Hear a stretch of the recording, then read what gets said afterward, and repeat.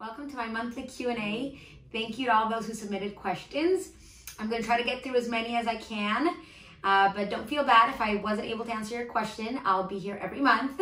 So let's get started. How is the market? Will it ever go down? Oh man, so um, that's probably the number one question that I get asked, and I'm sure everyone is wondering what's going on with the market. Um, so I'm sure as everyone's noticed, the market's been on a pretty big upward trend for a very long time. Um, buyers have been competing in multiple offer situations. Sellers have been getting over asking prices for their house. Um, so you can say that the market has been hot. It's definitely been a seller's market. Um, but does that mean it's been bad for buyers? Uh, no, I don't think so. Um, buyers have been able to lock in really low interest rates. They've been able to afford things that they haven't wouldn't be able to afford had the interest rates been higher. So, um, you know, I always tell my buyers this: if you can afford it, and you're going to be spending that money on rent anyways, and you can hold on to the property for long enough, then I don't think that it's ever a bad idea to buy, even if the market goes down, because eventually it will. Um, the market is cyclical, and even if it goes down, it'll eventually come back up. Mm. And at that point, what will end up happening is your uh, money won't be going to waste and you'll have an asset that's actually appreciated in value. And that's basically what happened to anyone who's bought in the past few years. Whatever they've bought is actually appreciated in value. Whereas rent will never appreciate in value. That is money that is 100% going down the drain and or into a landlord's pocket.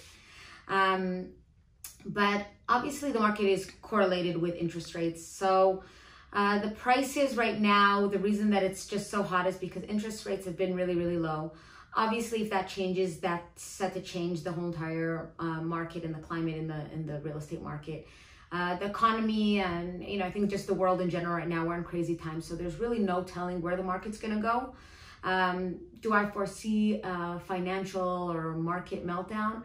Um, I don't see that happening. Obviously anything can happen, but I'm not necessarily worried about it um, I, I really do uh, have a faith in the in the market and I think that if you're making a smart financial decision and you're buying something that you can afford and hold on to long term you'll be fine.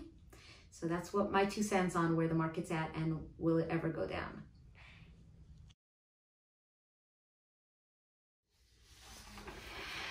How did you get started? Okay um, so, uh, might surprise you, but I actually had no interest in doing real estate. I actually never wanted to be a salesperson. I thought um, that I wouldn't be good at it. Um, so I never actually took any interest in uh, real estate or sales. You know, my parents have a jewelry company and I never wanted to sell jewelry either. I always wanted to do finance. I went to USC. I got a degree in uh, both international business and business finance. And I thought I was going to be an investment banker, a big hot shot. And then uh, I graduated right after the meltdown, the, the crisis in 07 and 08. So uh, when I graduated in 09, all of the investment bankers were just laid off and I couldn't find a job in what I was actually looking for. Um, but luckily I got a job at a um, big accounting firm in their real estate division. So there was a little bit of finance involved, but it was mainly basically appraisals for commercial real estate. So apartment buildings, offices, malls, they fly me all around the US to go see the malls so that we can um, appraise it and uh, it was basically an office job. Um, it was Orange County, and um, because I was in the real estate uh, department, I got my real estate license just for fun, just to have, but I didn't have any intention of using it. And then when I got married and had to move to LA, I couldn't do that commute. It was driving me crazy. So I decided that, hey, I had a license. I might as well, you know, give it a try. If it works, it works. It doesn't, it doesn't. I didn't really have a family to support then, so it, it, I didn't have any risk. So um, I said, I'll try selling real estate. And uh, honestly, I hit the ground running. And I'm so, so happy that my path led me here because I know that this is what I was destined to do. I love what I do. I feel super honored to help and serve all of you. And that's how I got into real estate. All right, so what are the best and worst parts of your job?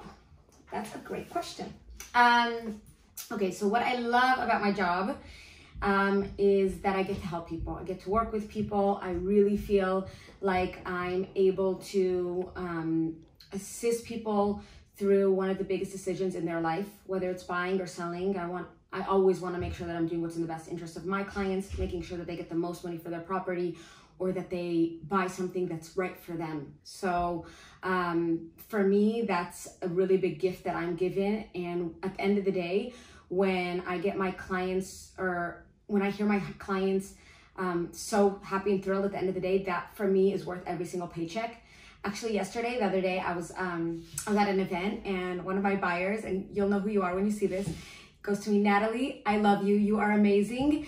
Thank you for forcing me to buy that house. He was having so much hesitation about buying the property, but I knew he could afford it and I knew he was getting a killer deal on it. And I didn't want to see him give up on it. I mean, you know, buying a property is super, super stressful. And if I don't think that it's the right property for them, I will never convince a buyer to buy something that they don't feel comfortable with. But if I know that they can afford it and I know that they're getting such a good deal on it, I want to make sure that they don't regret not taking it. So um, my client was basically telling me, Natalie, I can't believe it. I'm so happy you you you held my hand through it. You calmed my nerves, and you made sure that I bought that property because obviously now it's worth more. It was actually worth more even when he bought it, but um, you know, sometimes you just need that advisor. You need someone to hold your hand through a process, which is rather stressful, especially if it's your first time. So for me, that's the best part of my job. Um, the hardest part of my job is, uh, um, well, the fact that it's very, very stressful. You're dealing with a lot of different people, a lot of different personalities. The hours are crazy. Um, you know, a lot of people go into this business thinking, oh, it's going to be so easy. It's a flexible job. I can choose the hours that I work. You know, I'm a mom, so I don't, I can work part-time. Uh, and that's not all how real estate works at all. If you're looking at this as a part-time job, you're not going to make money. Real estate is a full-time job, even a more than full-time job if you actually want to be successful at it.